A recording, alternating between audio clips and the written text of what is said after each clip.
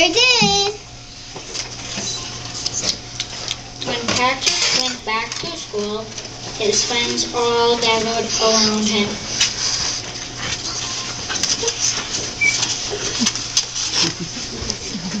Where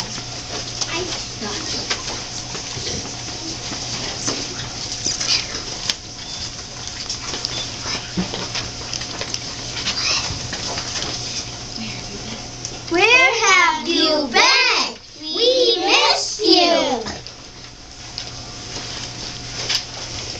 Patrick, would you like to give a little talk about your travels? Here's the point of seashells on the map. I went to Africa. Wow, that was a long trip. Did you swim all day and all night? Yes. I, but the water in Africa was warm and there were colored fish and big pink birds called flamingos. You know they can't swim underwater or slide on their bellies like we can.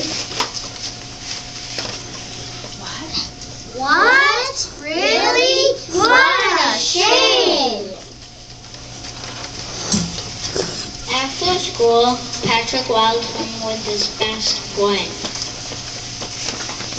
You know, I'm glad to be back home, but I'm glad I went to Africa.